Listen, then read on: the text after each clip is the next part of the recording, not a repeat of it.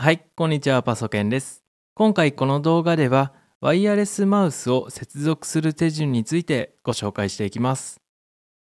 ワイヤレスマウスといっても、製品に付属された専用の USB レシーバーを使って接続するものと、Bluetooth 接続するものと2種類あって、それぞれ接続方法が異なります。はじめに USB レシーバーを使うタイプの接続方法を説明します。まず、付属の USB レシーバーを取り出します。この USB レシーバーですが、メーカーや型番によっては、どこにそのレシーバーがあるか分かりにくいかもしれません。マウスを使わないときや持ち運ぶときに USB レシーバーをなくさないようにマウスのどこかに収納できるようになっています。収納場所はマウスの裏側だったり、電池交換式の場合はカバーを開けて乾電池を入れる付近に収納できるようになっていることが多いです。そして USB レシーバーを見つけたらパソコンに接続します。これでパソコンに認識されてマウスが使えるようになります。また USB レシーバーの場合は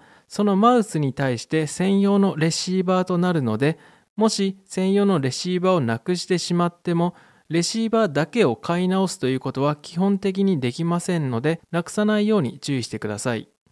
次に Bluetooth タイプの接続方法を説明します。このタイプでは専用レシーバーはありません。ただ、Bluetooth 接続するためには、パソコン側に Bluetooth 受信機が備わっていないと接続することができません。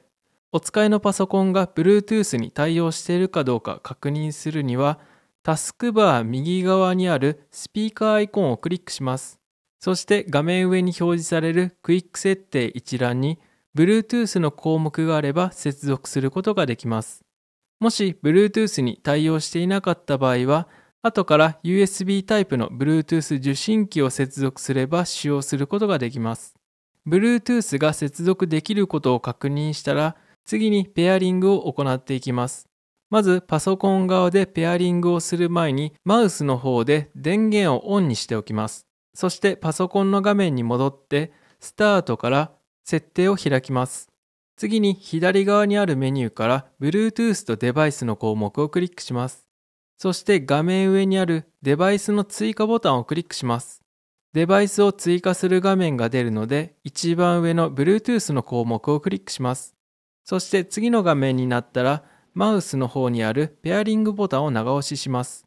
ボタンは大抵の場合マウスの裏側にあります。このボタンを長押ししているとデバイスを追加する画面でマウスの型番が表示されるのでこの項目をクリックします。そして接続できると接続済みに切り替わるので右下の完了ボタンをクリックします。これで Bluetooth タイプのマウス接続が完了となります。以上がワイヤレスマウスを接続する手順となります。この動画を見ていただいて参考になった方は、いいねボタン、チャンネル登録をお願いします。